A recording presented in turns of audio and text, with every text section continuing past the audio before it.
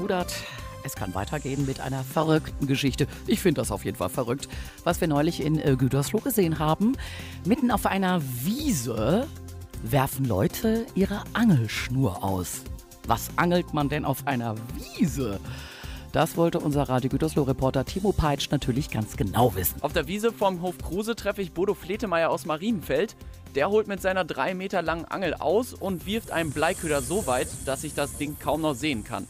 Finde ich ganz schön schräg und da bin ich laut Bodo Fletemeier nicht der Einzige, der so denkt. Wenn hier Fahrradfahrer vorbeikommen, die sehen, dass hier Leute mit Angeln stehen, dann kommen schon mal Sprüche wie, was macht ihr denn da? Maulwürfe jagen oder Fliegen fischen oder da hinten läuft noch der Hase, hast ihn nicht erwischt. Solche Geschichten gibt es natürlich. Ja, das Ganze nennt sich Surfcasten und ist sogar eine Sportart mit Meisterschaften und allem Pipapo.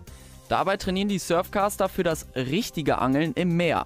Und hier die passende Anglerweisheit. Je weiter ich die Angelschnur werfe, desto länger zappelt der Köder beim Zurückziehen im Wasser und desto größer ist die Chance, dass dann am Ende auch ein dicker Fisch anbeißt. Das kann ich auch. Die Wiese ist mindestens 300 bis 400 Meter lang. Vielleicht schaffe ich ja den Weltrekord. Wo liegt der? Der liegt so 270 bis 295 Meter. Wenn sie da hinkommen, dann lege ich mich bei ihnen vor die Füße. Das ist überhaupt kein Problem. Das hört sich doch gut an. Das sind mindestens 300, oder? Wir können das ja gleich mal abgehen. Also das sind schon so 75 Meter, würde ich jetzt sagen.